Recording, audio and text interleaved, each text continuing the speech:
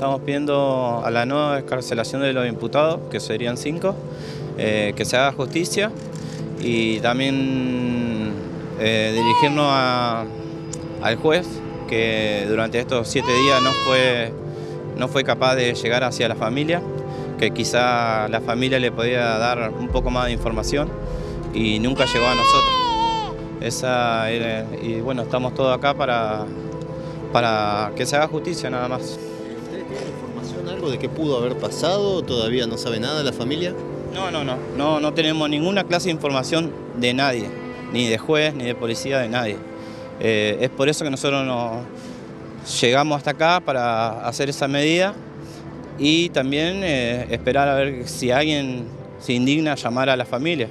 Eh, Acá vinieron todas, están todas las hermanas, son cinco hermanas que vinieron del norte. Eh, hoy, el día de hoy, a las 10 de la mañana supuestamente no iban a dar el cuervo para poder velarla. Son las cuatro y media de la tarde creo y no tenemos noticia de nada. Eh, no, no, no sabemos por qué. La verdad que no sabemos por qué. Todos los que han declarado hasta ahora hablan de una mala relación preexistente entre Gladys y, su hijastra Oriana. ¿Ustedes también como familiares dan cuenta de esto? Sí, sí, yo, yo principalmente eh, la última vez que compartí con mi tía fue el día 10. El día 12 pasa lo que pasó. Eh, en las reuniones familiares, así como cuando comíamos y todo, veíamos que no era muy buena la relación con Oriana y hasta hubo eh, problemas muy grandes estando nosotros presentes, ¿no? ¿Sobre la tenencia de la, nena? ¿Este creen que fue, ¿Ustedes creen que este fue el motivo de, por el cual la mataron?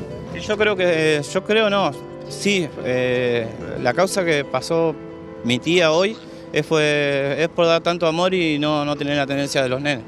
Eh, y otra cosa, Ezequiel, el de dos años y tres meses, eh, no, no estaba en tenencia de mi tía. Estaba, los trámites estaban hechos, todavía no había salido nada.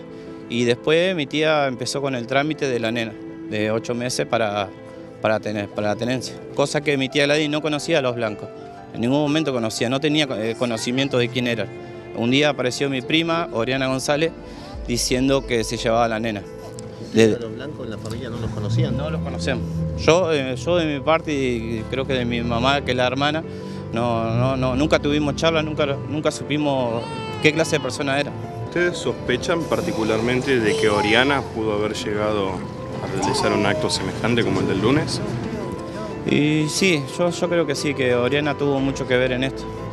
No, no lo puedo confirmar, pero en las últimas peleas que tuvo, Oriana la empujó a la madre y, si no estábamos nosotros, no sé qué iba a pasar en ese momento.